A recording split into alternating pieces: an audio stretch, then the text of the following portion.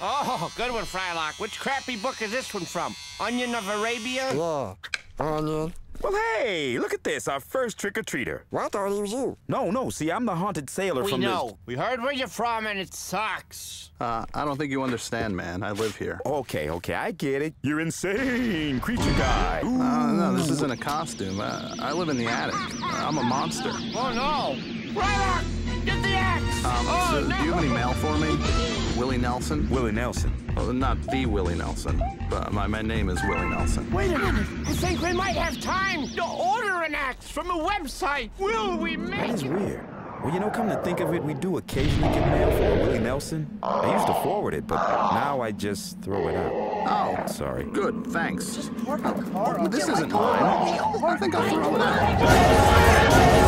out.